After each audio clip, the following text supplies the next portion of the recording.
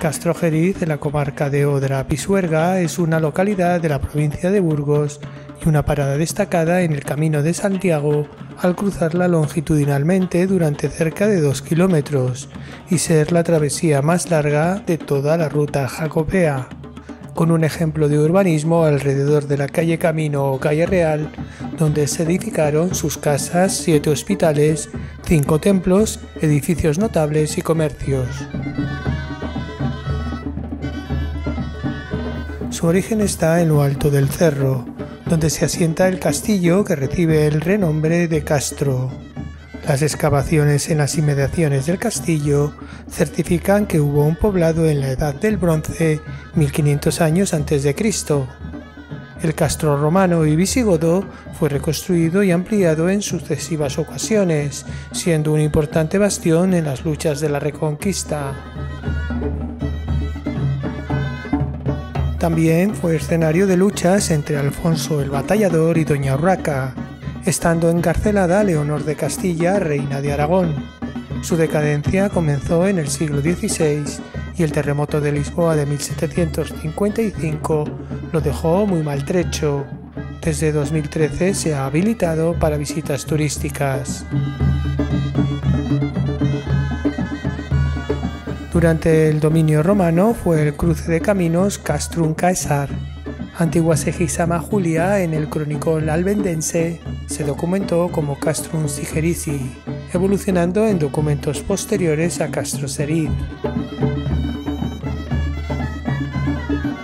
El nacimiento del pueblo data del año 882, cuando Nuño Núñez desde Peñamaya se estableció con un grupo de cristianos en el castillo el conde García Fernández en el año 974 otorgó a los vecinos de la localidad el fuero de la caballería villana, considerado como el primero de los concedidos en Castilla, delimitando los derechos y obligaciones de los ciudadanos según su estatus social.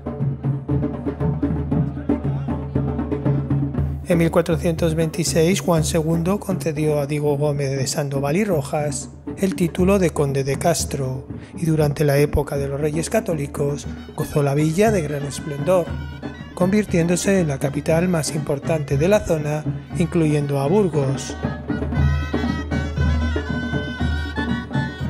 En los siglos XIV y XV alcanzó una gran influencia comercial gracias al comercio de la lana con Flandes. Se conservan muestras interesantes de arquitectura civil y restos de las antiguas murallas. Actualmente, junto a Villadiego, Melgar de Fernamental y Sasamón, forma parte de la ruta turística Las Cuatro Villas de Amaya, estando catalogado como conjunto histórico y bien de interés cultural. En la ladera del pueblo está el despoblado de Vigeriego. Con sus ruinas se construyeron las casas más antiguas de Castrojeriz. atravesando la villa de este a oeste en dirección a Santiago de Compostela y antes de adentrarnos en el casco urbano, avistamos la enorme colegiata de Santa María del Manzano, fundada en el siglo IX, reconstruida en estilo románico ojival en el siglo XIII y reformada y ampliada posteriormente. Siguiendo la calle Real encontramos la iglesia de Santo Domingo de Guzmán del siglo XV, y con cubiertas del 18. En su interior hay un centro de interpretación del Camino de Santiago. Tiene una torre campanario en la fachada occidental con puerta dintelada y portada clasicista en el muro sur, con una escultura de la Virgen y el Niño. En el trazado de la calle Real vemos numerosas posadas y albergues para atender a los peregrinos. Más adelante llegamos a la Plaza del Fuero, donde hay una escultura dedicada al fuero de la villa. Allí se encontraba el templo de Santiago de los Caballeros. Llegamos a la Plaza Mayor con forma alargada, donde se encuentra el ayuntamiento.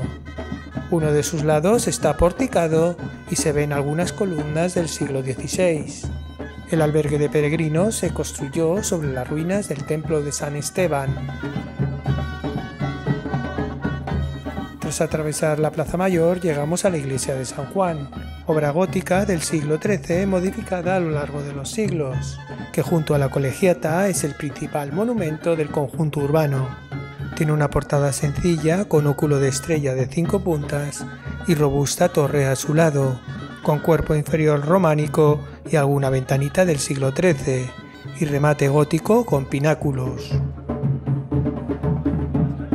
De cabecera con ábside poligonal, con contrafuertes en las esquinas y ventanales apuntados en los paños, destaca su artesonado mudéjar, el retablo mayor barroco y su claustro de forma cuadrada que se encuentra adosado al muro sur. Muestra una clara tradición románica, aunque ya es una construcción tardía del siglo XIII.